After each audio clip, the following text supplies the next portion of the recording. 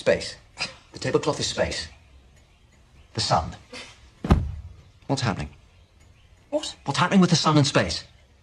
Well, the bread is sinking into the tablecloth. The sun makes a shape around it in space. Yes. Now, what happens if I do this? It wants to travel in a straight line, but it can't. Why not?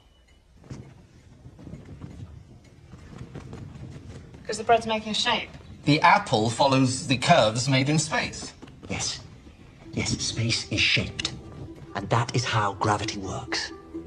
Space tells objects how to move. Objects tell space what shape to be. And there's a way to prove it.